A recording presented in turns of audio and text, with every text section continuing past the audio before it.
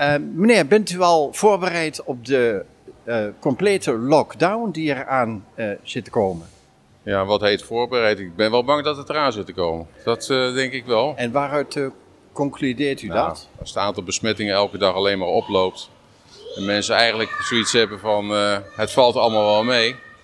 Dan denk ik totdat we met elkaar naar een lockdown gaan. En ik denk wel dat die eraan zit te komen. Ja. Wat we gaan doen, thuis blijven zoveel mogelijk. Nu het nog kan met mijn man, die moeilijk te been is, een klein rondje lopen. Een klein rondje lopen en niet uh, de, de drukte opzoeken, een stukje door de Gravenallee. Proberen elke dag een half uur, drie kwartier.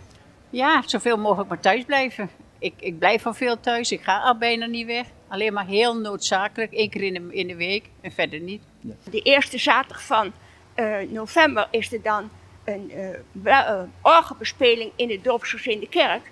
Dus vandaar dat ik in de stad ben. Maar ik neem gelijk allerlei boodschappen mee. agenda en allerlei van ethos en ja, overal. Want denk ik, straks kan ik misschien nergens meer heen, hè?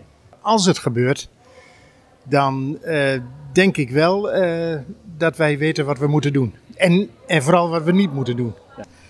Ik vind het vreselijk natuurlijk wat er gebeurt met mensen en daar ben ik ook erg mee begaan. Maar ik heb gemerkt ook tijdens de eerste lockdown dat ik dus werd ik op mezelf teruggeworpen in mijn eigen huis. Ik heb het gelukkig dat ik een tuin heb. Maar de rust en het uh, niet alles hoeven en moeten heeft mij veel gebracht. Uh, er kwam dus heel veel leegte en stilte en allemaal wat mensen saai en niks aan vinden. Daarvoor in de plaats kwam dat ik weer meer oog had voor uh, dat ik mocht genieten van ja, de zonneschijn of van een boom in mijn tuin of van de poesen die daar speelden. Nou, op zich al wel, want ik denk wel dat het eraan gaat zitten komen. Veel spelletjes in huis gedaan, veel leuke dingen in huis gehad. Het wel een beetje leuk blijven in ieder geval. Ja, ja, dat, ja ik weet eigenlijk verder niet zo goed waar ik me op voor moet bereiden. Ik denk het niet. Uh, je kan je wel enigszins bedenken van wat het, uh, wat het voorstelt, maar het lijkt me toch wel een hele uitdaging uh, om dat te doen. Ja. Nou, expliciet niet uh, op voorbereiden. Ik heb daar geen voorbereiding voor getroffen. Maar ik hou er wel zoveel mogelijk rekening mee. Ik blijf zoveel mogelijk thuis. En alleen maar als het nodig is, dan uh, gaan we de noodzakelijke dingen doen die buiten bijvoorbeeld winkelen en dat soort dingen. Hoe lang schat u in zou zo'n complete lockdown kunnen duren?